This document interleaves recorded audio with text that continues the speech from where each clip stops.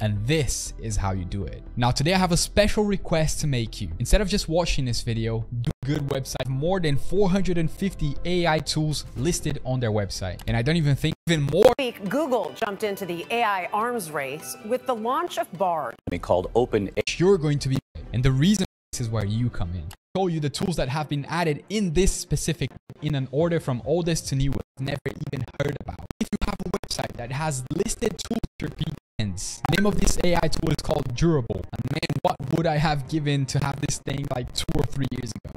These tools you're going to save those links here. All you have to do is click here doc paste it here and you're done. Once you have 10 tools save them to a google. What you're looking for is going to here it is affiliate program. This is commenting on the comment section. But Look, not all it's some the magic. to be solved in this video. The first one proven, and you can see here, and it also means that Google is paying money with this. And the second reason why